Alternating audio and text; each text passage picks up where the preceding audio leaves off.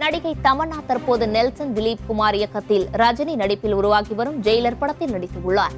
சமீபத்தில் தமன்னா மும்பை விமான நிலையத்திலிருந்து வெளியே வந்தபோது ரசிகர் ஒருவர் தமன்னாவின் காலில் விழுந்து தனது கையில் தமன்னாவின் முகத்தை பச்சை குத்தி இருந்ததை காண்பித்தார். ரசிகரின் அன்பை பார்த்த தமன்னா கண் கலங்கி அவரை கட்டி அணைத்தார். மேலும் அவர் கொடுத்த பூங்கொத்து மற்றும் கடிதத்தை பெற்றுக்கொண்டு அவருக்கு நன்றி தெரிவித்து நெகிழ்ந்தார். இந்த வீடியோ தற்போது இணையத்தில் வைரலாகி வருகிறது.